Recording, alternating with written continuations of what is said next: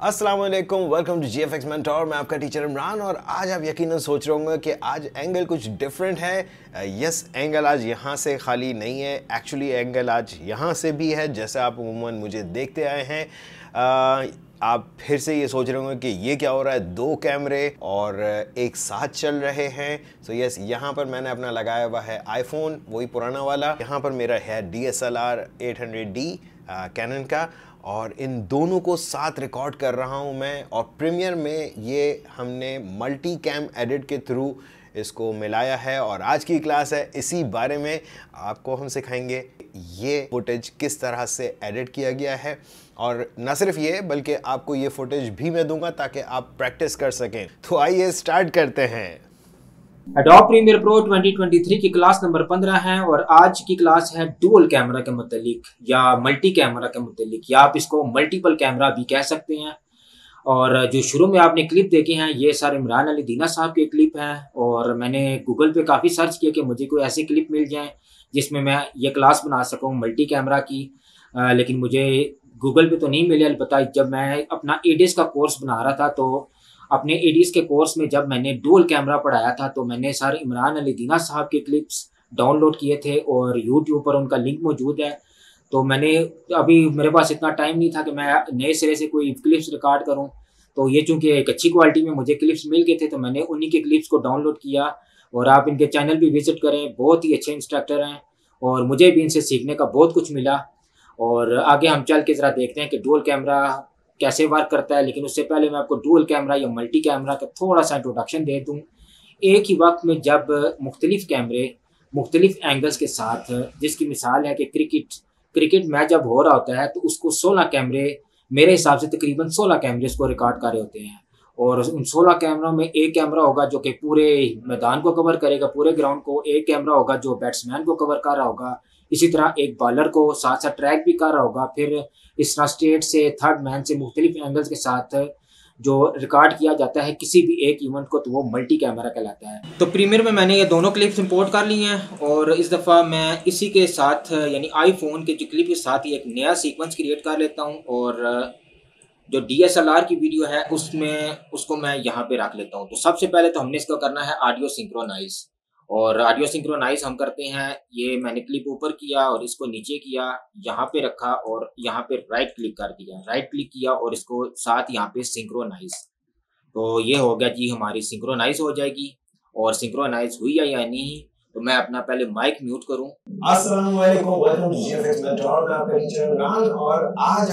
जी तो हमारी गाड़ियों बिल्कुल ठीक अच्छे तरीके से सिंक्रोनाइज हो चुकी है और अब मैं कहाँ से इसको स्टार्ट करता हूँ? सबसे पहले तो मैंने मुझे वॉइस चाहिए एक ही और मैं वॉइस लूँगा डी वाली या आईफोन ये है आपकी मर्ज़ी होगी कि आपने कौन सी लेनी है। मुझे इस टाइम डीएसएलआर वाली ऑडियो वो चाहिए और इसकी मैं थोड़ी सी ऑडियो है इसका लेवल मैं कम कर देता हूँ। ताकि ये मेरे माइक में ज़्यादा खलर ना डाले।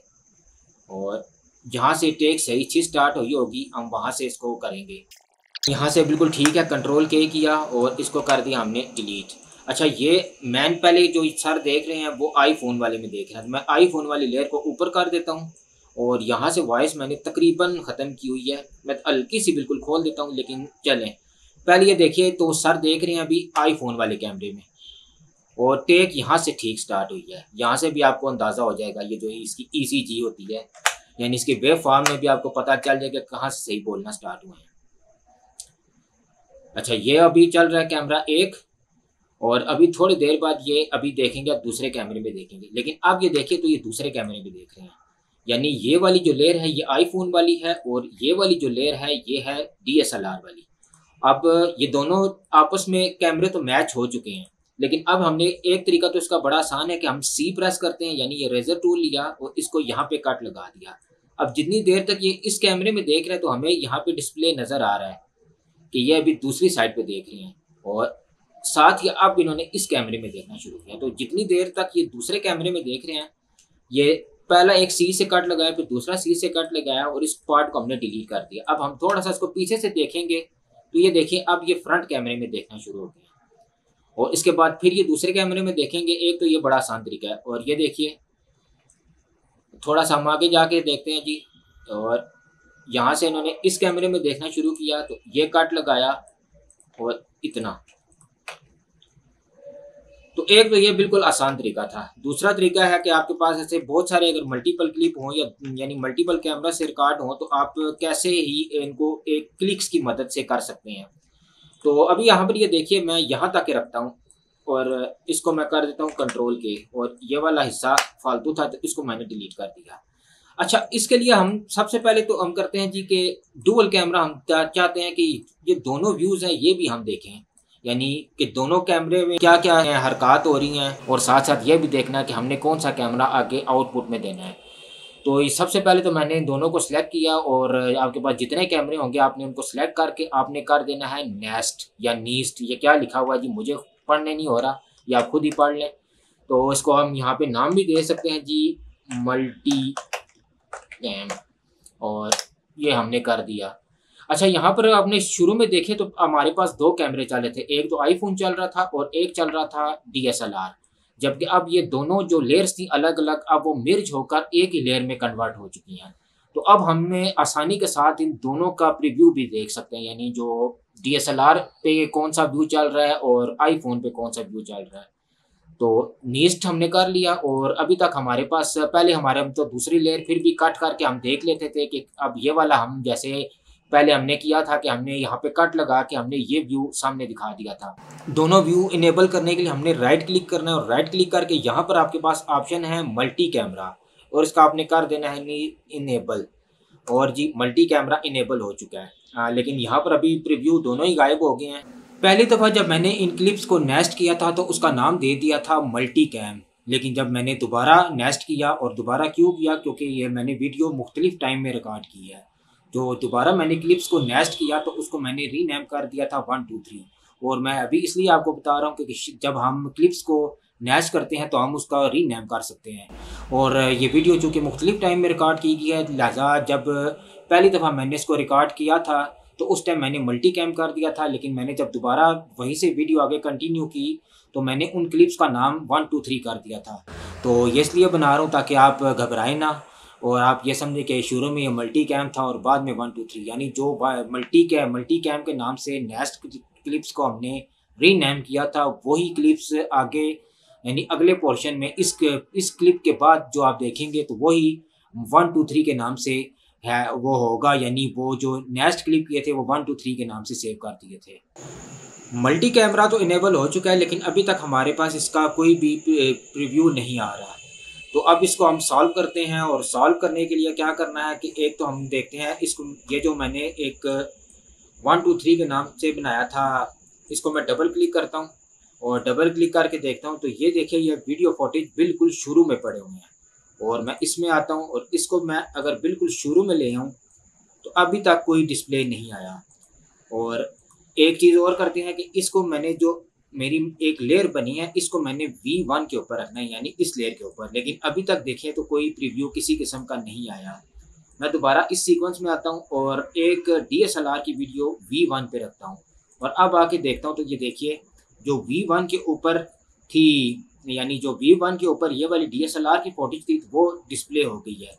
और अगर मैं इसको वी वन और इसको बेशक इसी पे रहने देता हूँ तो यहाँ पर ये देखिए, अब जो मैंने आईफोन वाली वीडियो थी, वो मैंने वी वन लेयर के ऊपर रख दी थी। मैं इसको थोड़ा सा जूम करके दिखा देता हूँ। और अब ये देखिए, हमारे पास जो एक नेस्ट हुई हुई नेस्ट हुई हुई जो है लेयर है, वो एक हो चुकी है जी कंबाइन अब मैं ये चाहता हूँ कि ये जो दोनों कैमरों की डिस्प्ले थी, यानी आईफोन और डीएसएलआर का, उसका मुझे प्रीव्यू भी नज़र आए। तो प्रीव्यू एक तो देखने के लिए ये तरीका है कि मैं इधर से जाके देखूँ, लेकिन मैंने इसी लेयर के ऊपर काम करना है और इसी सीक्वेंस पे काम करना है। तो अब यहाँ से तो हमने मल्टी कैमरा इनेबल कर लिए हैं, लेकिन अब जो हमने देखना है कि यहाँ पर हम कैसे देखें तो यहाँ पर आपको ऐड का एक निशान बना हुआ आ रहा है। मैं इसको थोड़ा सा जूम कर देता हूँ, मैं पहले जूम इट ऑन कर लेता हूँ। और जूम इट ऑन हो तो फिर उसके बाद हम देखते हैं कि जूम इट ऑन हुआ है कि नहीं। तो ये आपका निशान एक बना हुआ है यहाँ पर प्लस का।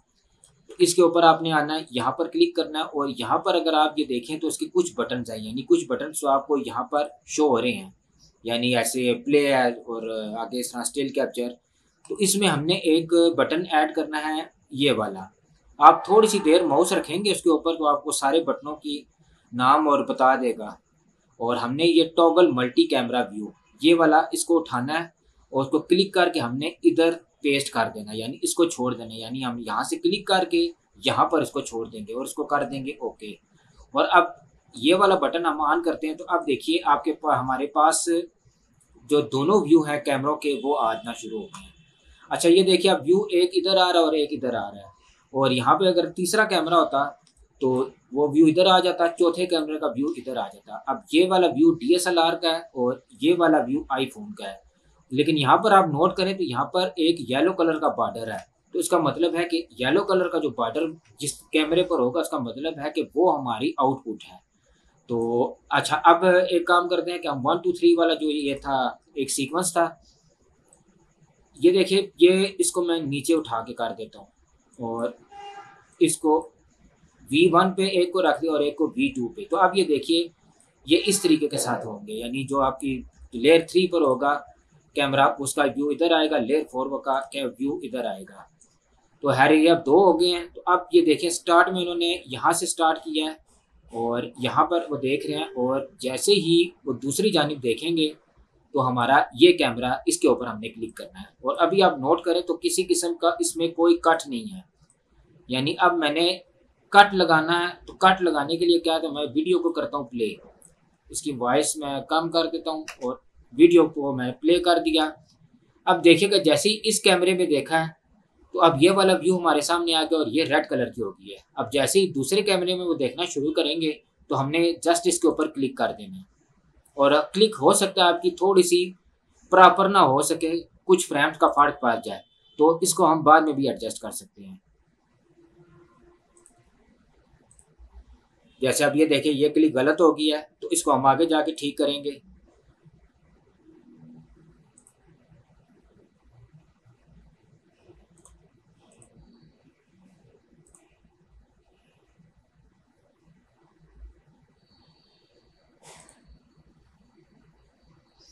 जी ये होगा सारा कंप्लीट और इसको जैसे ही मैं स्पेस दबाऊँगा तो यहाँ पर नोट करिएगा यहाँ पर ऑटोमेटिकली कट लग जाएँगे। यानी जो जो जहाँ जहाँ पर हमने क्लिक किया था वहाँ पर खुद ब खुद कट लग जाएँगे। तो ये मैंने स्पेस दबाया तो ये देखिए सारे के सारे हमारे जो कैमरे थे यानी वो दो, दोनों कैमरों के जहाँ पर हमने कट लगाया था वो उसके क्लिप्स बन चुके हैं।